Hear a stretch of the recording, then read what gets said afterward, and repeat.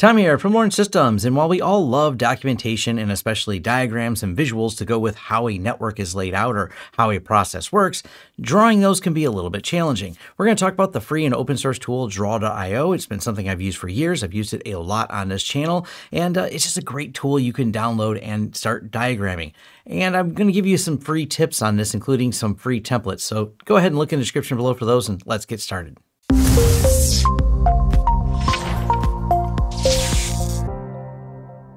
I love the simplicity of the draw.io page. And before you think, well, if you can launch it from a web application, isn't it just like any other web application that could just go away or start charging me or take my data and do something I don't want them to do with it?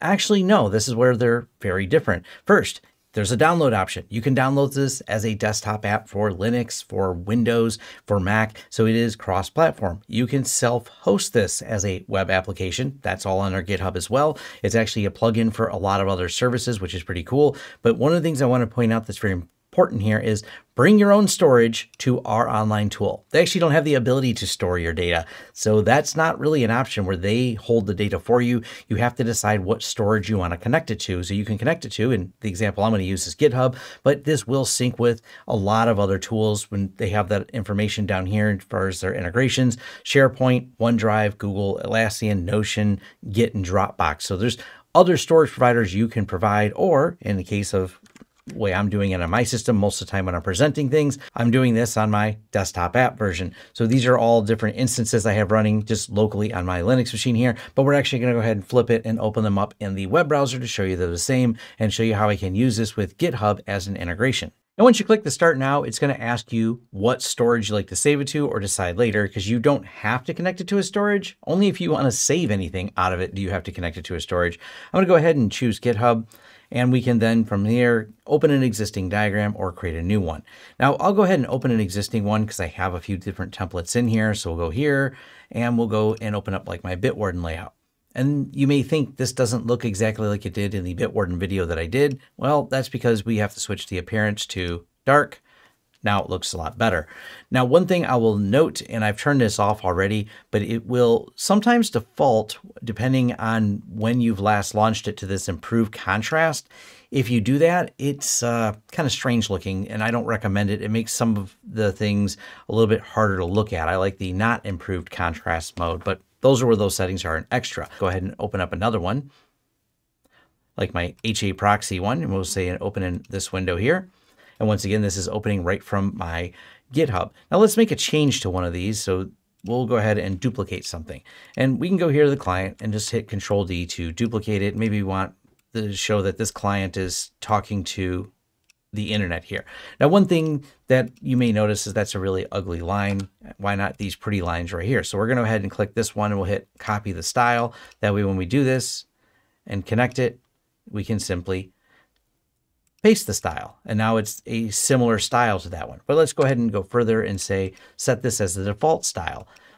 And then when we go from here, we're going to go ahead and up here, Great, now it's the default style. Anytime I create a new line, it's going to follow the same style formats. This is why coming from some of these templates can be a lot handier when you're doing this. Now, the flow option, I will at least point that out right here. So if you want this to flow the same way like it does there, that is not part of the style that it copies. You have to go down to the property and then go down here to flow animation, check the box, and the flow animation will work. Now we're going to go ahead and delete that and delete that because we don't really need that one in here. But when you're building the different templates, and I have a lot of them, particularly in this HA proxy one, some of these you're going to find a little bit repeated. You're kind of seeing the behind the scenes of how I build out the different draw.io diagrams by starting with one, maybe saving it as a new file because I'm using the desktop app, and then copying them on there, and you have all these different tabs on here. But this is what makes it a lot easier though, is just the fact that once you build these out and they all attach and the things move. It's just like any other commercial drawing program that you've probably used. It is pretty easy to start with these and keep iterating from there.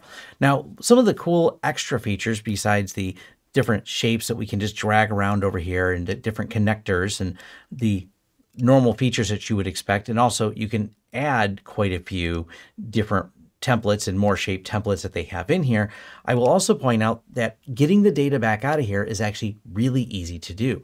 For example, let's say we wanted to take this and bring it into another program as an image. Well, that's actually pretty easily done by going here and we just copy as image. This is one easy way to get the data out of here to be pasted into, let's say, a local desktop app.